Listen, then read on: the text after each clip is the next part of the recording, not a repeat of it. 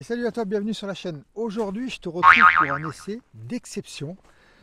C'est pas quelque chose que tu as l'habitude de voir sur ma chaîne. J'ai souvent essayé des roadsters, mais j'ai jamais essayé, euh, du moins sur la chaîne, j'ai jamais essayé ce que je vais te montrer maintenant.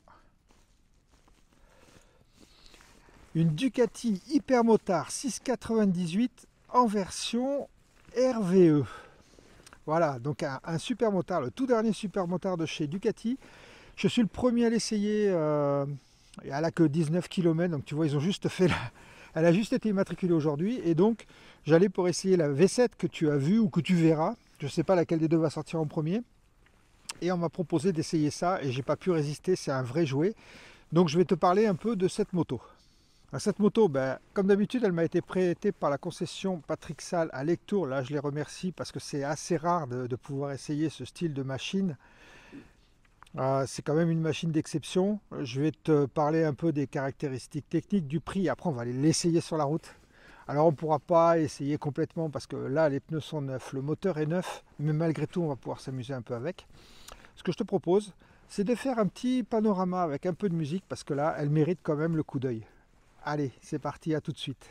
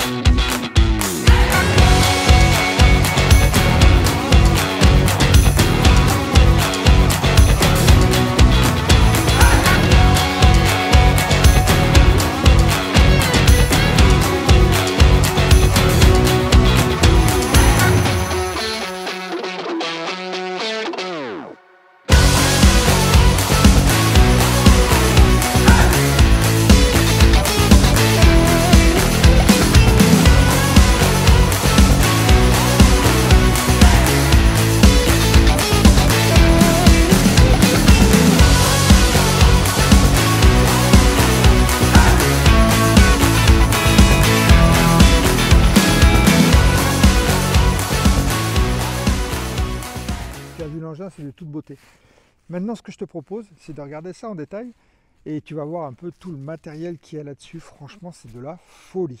Allez, je te montre ça. Je pense que le, premier truc qu'on va regarder, c'est un peu ce moteur. Donc, c'est un monocylindre euh, Super Quadro Mono 4 temps. Euh, refroidi par liquide, bien sûr. Distribution d'esmodromie, 4 soupapes par cylindre avec un arbre de renvoi, de balancier, c'est une moitié de moteur de Panigale. La cylindrée, c'est 659 cm3. La puissance, 77,5 chevaux. Alors si tu mets une ligne complète, euh, là tu peux aller avec, tu peux rajouter 8 chevaux de plus. Le couple, donc la, puissance, je ne te l'ai pas dit, elle est à 9750 tours. Tu vas en apercevoir, c'est une des caractéristiques de ce mono. Il aime bien les hauts régimes. Le couple, 60 Nm à 8000 tours minute c'est à peu près tout ce que je peux te dire sur, euh, sur ce moteur. Évidemment, il a des modes de conduite, il a du sport, du road, du urban et du wet. Donc euh, tu vois, sacré, sacré, sacré monstre. L'entretien tous les 15 000 km, réglage des soupapes tous les 30 000 km. Donc tu vois, l'entretien pour un super motard, l'entretien il n'est pas serré. Ça c'est pas mal. On va parler des suspensions et là, euh, non je t'ai plus, la cour est pleine. On a des suspensions Marzocchi avec une fourche inversée de 45 mm de diamètre. Alors je te montre un peu ce que ça fait par rapport à ma main. Euh, tu vois, voilà. 45 mm de diamètre. Il y a quand même un sacré monstre. Alors évidemment, je ne te parle pas des réglages parce que évidemment ça se règle dans tous les sens. Tu as des molettes ici. Pour régler donc la précharge, la contrainte, la détente, enfin tout ce que tu veux. Donc ça c'est pour, euh, pour la fourche avant. L'amortisseur arrière, euh, c'est la même chose. Donc à l'avant, je ne te l'ai pas dit, on a 215 mm de débattement. D'accord Donc tu vois, et à l'arrière, on a 240 mm de débattement avec un amortisseur euh, arrière, c'est un sac entièrement réglable évidemment. Bon, donc là tu vois, avec un superbe bras oscillant. Donc question partie 6, ça rigole pas. Jante 17 pouces, pneu Pirelli Rousseau 4 euh, il y a du lourd. Les jantes sont magnifiques avec euh, ces bicolores rouge et noir. Donc ça, je te signale, c'est la version RVE. Je vais te parler des prix après. On a un frein arrière disque 245 mm étrier flottant avec un ABS Bosch cornering et à l'avant, là l'avant c'est quand même pas mal puisque tu as du freinage Brembo donc on a un disque de 330 mm et tu vois ça commence à faire un sacré morceau. 330 mm étrier Brembo M4 32 avec. Parce que sinon ça va pas. On a une pompe radiale. Euh, je te dis pas euh, des freins de chez Kifren hein. du gros matos. Donc ça c'est pas mal. Les pneus je t'en ai parlé. Rosso 4 120 à l'arrière 160 à l'arrière un compteur LCD je vais te montrer ça. Euh, je t'ai pas parlé de la hauteur de selle. Ici on est à 904 mm de haut. Je vais te montrer ce que ça donne avec le drone. Et tu vas t'apercevoir que même moi euh, j'ai pas les pieds tout à fait à plat. Donc c'est pas une moto euh, fait pour les petits. Le poids total ça aussi c'est pas mal. On est à 151 kg à sec. On a un réservoir de 12 litres. Donc tu vas pouvoir faire le guignol mais pas longtemps quand même mais bon c'est pas ce qu'on demande à cette moto c'est pas une voyageuse le prix donc tu l'as en version de base rouge à 12 790 euros et là, tu l'as en, version, ils appellent ça RVE graffité. C'est le, super, la super déco. Et donc là, tu rajoutes un petit billet de 1000 euros pour 13 790 euros. Et à ce moment-là, tu as la déco plus le shifter, puisque tu n'as pas le shifter sur la version de base. Un peu dommage, parce que sur un super motard, euh, c'est pas imaginable de ne pas avoir de shifter. Bon, tu as des protège-mains d'origine évidemment, et puis tu as un tableau de bord qui est réduit à sa plus simple expression. Alors, tu vois, il est assez étroit, ok? Néanmoins, néanmoins, il te donne toutes les informations possibles imaginables que tu vas ici sélectionner avec ce basculeur. Donc là, ici, tu vas faire défiler, tu vas avoir tes infos, donc ta date, tu rentres dans les menus, la température extérieure, le trip 1, le total, euh, le display que tu peux modifier, l'ABS que tu peux modifier aussi, donc l'ABS 4, l'anti-wheeling que tu peux régler sur trois niveaux, le traction control que tu peux régler aussi sur différents niveaux, et la température du moteur. Donc tu vois, très simple. Euh, la vitesse engagée, euh, ici. Et puis euh, ton contour, tu vois, c'est assez petit. Ça par contre, c'est assez petit. Au niveau du Komodo, c'est bien occupé. Donc ici, tu as tes clignotants, ton klaxon, ton basculeur code phare, euh, ton sélecteur de menu, ton appel de phare. Ici, tu as les phares en auto. Et puis là, tu vas avoir le coupe-contact et ici, tu vas avoir pour démarrer. Donc bien sûr, je sais ce que tu vas me demander. Tu vas me demander le bruit. Ben, tu vas écouter le bruit.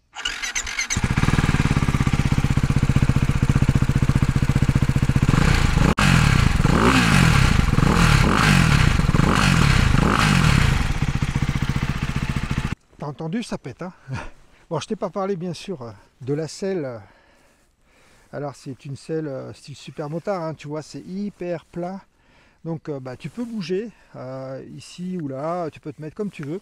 Sache que j'ai eu quand même un 690 SMCR il y a quelques années de ça. Donc j'ai une petite expérience de super motard. Alors ne t'attends pas à avoir dans mon essai des roues arrière ou des travers ou des glisses ou tout ce que tu veux. Tu verras un essai routier standard parce que c'est pas mon truc, je sais pas faire. Mais néanmoins, ça te permet comme ça de, voir cette moto qui, euh, est fantastique. Euh, franchement, quand tu regardes euh, les, couleurs, le moteur, la finition, c'est vraiment super. Alors tu peux changer tes échappements, la ligne complète en Terminioni bisortie, ça doit tourner dans les 2000 euros. Et là, tu obtiens 8 chevaux de plus. Il doit y avoir une carto aussi à faire, je pense. Ce qui est énorme, ça devient le monocylindre le plus puissant euh, existant. Tu vois, tous les, tous les détails de finition, tu me diras à ce prix-là, c'est un peu normal, mais bon, ça n'empêche que c'est vraiment du super matos et une super finition. Voilà ce que je pouvais te dire sur le, statique. Maintenant, ce qu'on va faire, bah, comme d'habitude, un petit tour de drone. Comme ça, tu la verras, tu verras un peu la position que j'ai dessus et tu verras que si tu, euh, fais moins de 1m80, à mon avis, euh, bah, il te faudra un escabeau, quoi, parce que sinon, ça ne va pas le faire. Néanmoins, je te montre ça tout de suite et après, bah, on ira laisser sur la route.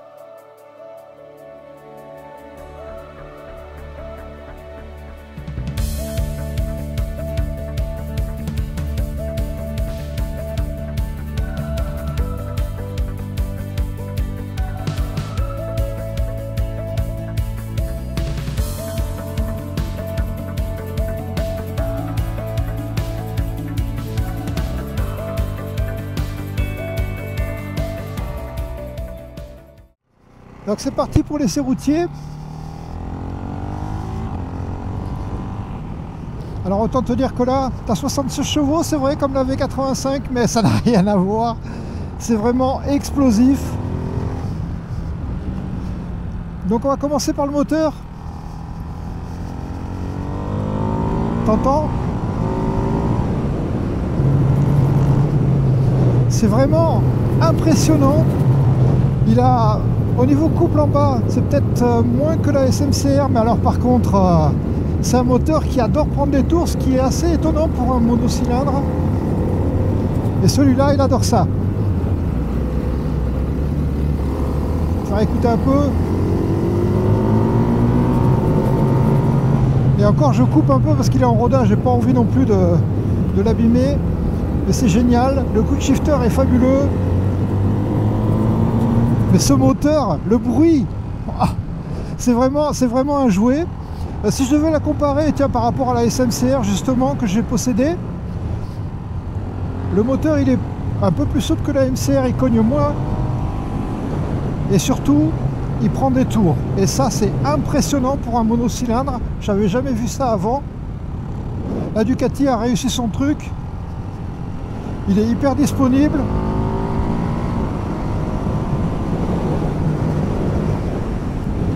Donc question moteur, c'est vraiment un sans faute. Je pense qu'avec des Terminioni, ça doit vraiment être impressionnant. Mais déjà, sonorité, puissance, souplesse, je te dis à part un peu moins de coupe que la SMCR, mais par contre il a des bonnes reprises, ça c'est génial.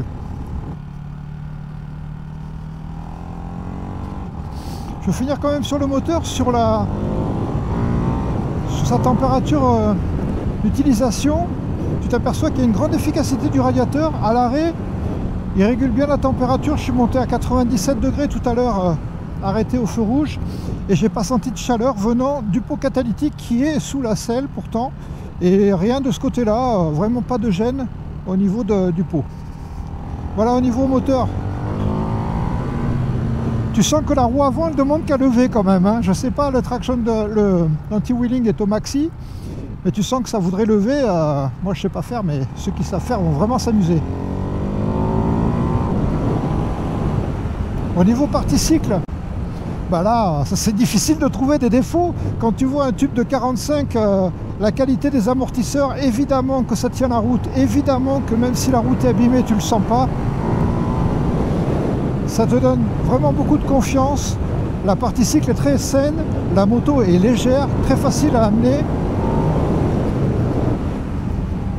Et de ce côté-là, tu as, même, tu vois, là, on parlait de, même si c'est mal placé, de parler de confort sur un super motard.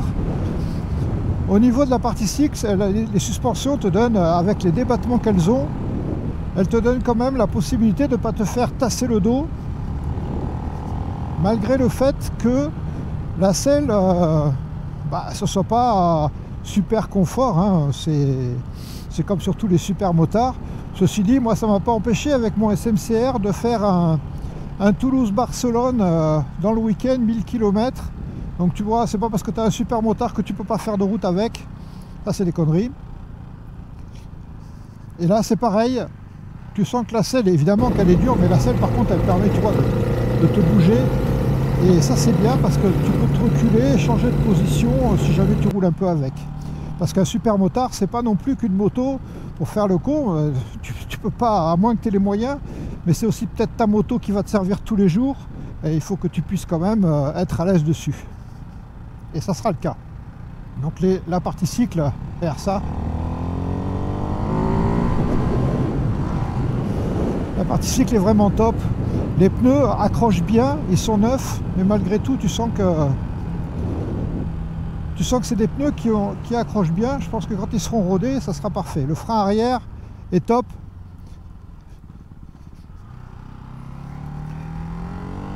Maintenant, on va parler un peu justement du freinage. tu vois, autant je... Sur certaines motos, tu peux dire, ouais, le frein, il est mou, il est machin, ou il est, bon à l'attaque, il est puissant. Là, il est puissant et l'attaque est franche. Tu vois, quand j'appuie, hop, t'as vite fait de faire un stoppier à mon avis. Mais il est rassurant parce que il est, euh, si, si tu veux pas appuyer comme un fou dessus, tu vois, sur le début, évidemment, tu, joues qu'avec un doigt, mais c'est parfait. Il faudrait être vraiment euh, difficile pour pas trouver que le freinage est bon, que ce soit le frein avant, le frein arrière. Vraiment, la moto, elle a du super matos. Donc, comment tu veux que je trouve un défaut sur la partie cycle ou le freinage? Oh. Rien à dire là-dessus. Au niveau du tableau de bord, il est simple, mais il a un avantage, c'est qu'il est super lumineux. Et tu vois très bien, alors tu es obligé de baisser les yeux parce qu'il n'est pas en face de toi évidemment. Mais bon, quand avec ce style de moto, c'est pas quelque chose que tu regardes. Tu roules au bruit du moteur.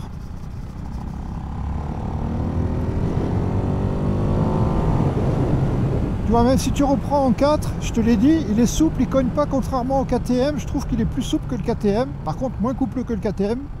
Mais plus puissant dans les tours. Puisque le KTM, lui, il va pas y aller aussi facilement, tu vas pas le sentir, il s'épuise un peu, alors que là, euh, dès que tu atteins euh, les 9000 tours, passer les 7000, tu vois, si jamais je monte doucement, 6000, tu vois le bruit, tu vas voir, ça va changer vers 7000.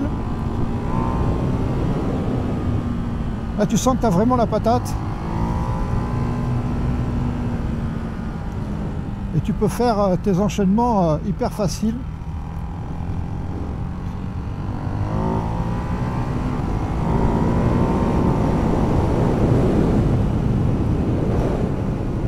La moto, c'est vraiment, c'est vraiment un jouet. Alors, tu te dis, ouais, c'est cher, c'est vrai, c'est un monocylindre, c'est cher, mais quand tu vois la technologie embarquée, quand tu vois le matériel qui est monté sur cette moto, ça peut faire réfléchir parce que tu as une moto quand même plaisir, tu as une moto qui peut quand même t'amener au taf. Alors bien sûr, tu n'emmèneras personne avec, bien sûr que tu vas pas partir en vacances avec, mais tu vas pouvoir te balader et tu vas pouvoir t'amuser sur les petites routes et utiliser euh, ces 77 chevaux alors que si tu as une sportive, bah, ça sera beaucoup plus difficile de te faire plaisir là-dessus. Et en plus, tu vas avoir une moto qui est super légère. Et ça, c'est quand même le top. Par contre, prévois-toi un budget pour les pneus parce que je pense que de mémoire sur mon super motard, moi je changeais les pneus tous les 2 ou 3000 km.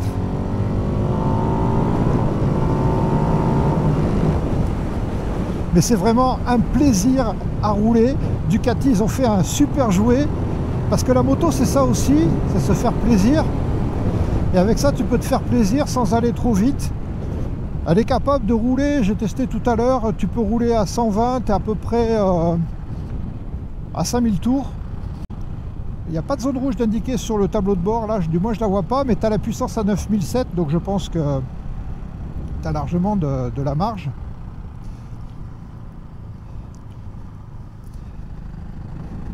Là je te montre avec la, la 360, on voit un peu mieux là.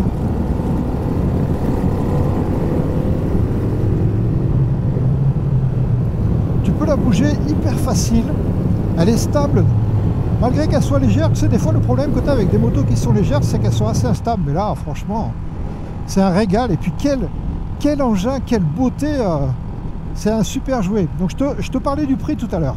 Donc pour finir là-dessus, euh, pour ce prix-là, pour 14 000 euros, tu peux avoir une SMT. Donc si tu prends la, SMT qui pourrait rentrer, euh, si tu veux, tu as la SMCR qui vaut à peu près 10 euh, 000, presque 11 000 euros maintenant.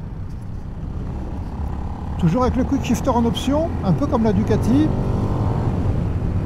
Et pour ce prix-là, donc bien sûr qu'elle est 1000 euros plus chère que la KT, mais tu as quand même autre chose au niveau moteur. C'est vraiment, à mon avis, largement meilleur parce que ça pousse plus,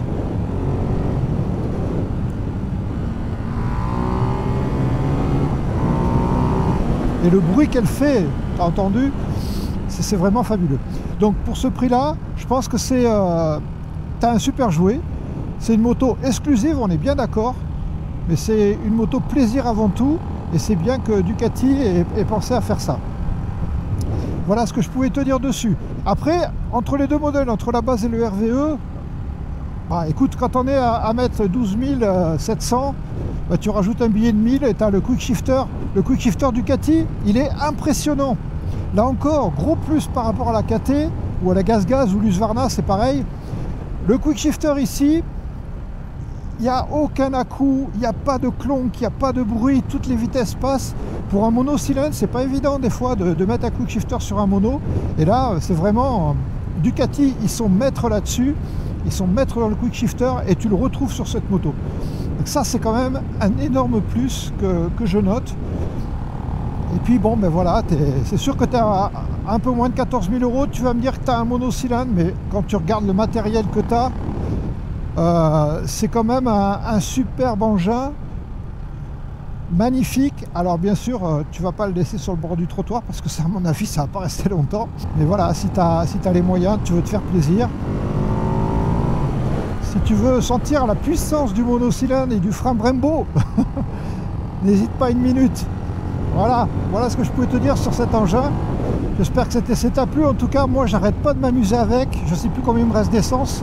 Va falloir que je la rende et ça me fait bien de la peine de la rendre tellement c'est fun. Allez, je te dis à bientôt sur la chaîne. Tchuss